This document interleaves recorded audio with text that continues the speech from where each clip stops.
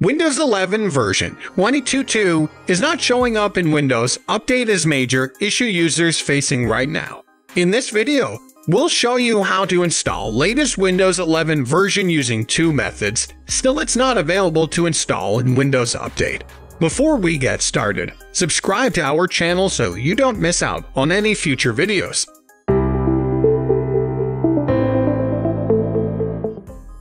Windows 11 version 22H2 is available since September 20.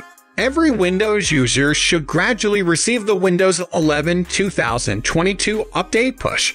However, many users can't find the Windows 11 version 22H2 on Windows Update.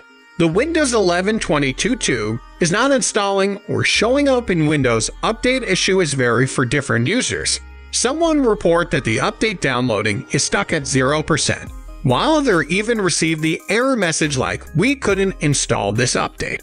But you can try again, and most users say the Windows 11 2022 update just not showing up in Windows Update. To fix this issues, the first thing you should do is to leave the Windows Update untouched for a couple hours and see if the update will be shows up successfully. If not, just move to the next part. The second way to install Windows Update 22H2 is using Windows 11 Installation Assistant. This is a program Microsoft offers to help you download the latest version of Windows 11, which is now the 2022 update. Just open this link in the browser, and you will see the Windows 11 Installation Assistant. Tap the Download Now button and open it. Then you will see some pending update if you can update Windows. Just click to update the one that you can update and the Windows 11 update error should be fixed. If Windows 11 Installation Assistant can't work in this case, just move to the next method. You can also try to force install Windows 11 22H2 using a media creation tool. The Media Creation tool is the only official tool offered by Microsoft for upgrading. This tool helps users to update their PC to the latest version of Windows Visit Microsoft official webpage using link provided in the video description. Go to the Create Windows 11 Installation Media section. Click on the Download Now button and wait for the downloading process to end. Choose Upgrade this PC and choose to keep personal files and apps, keep personal files only, or choose Keep Nothing. Then, click Next. After that, follow on-screen instructions to finish installing Windows 11 on your system. While installing Windows 11 22H2 update on your PC or updating to any Windows new versions, you may found that some of your important file is missing. Don't worry, in this case you can recover your desired files using Tenorshare 4DDiG.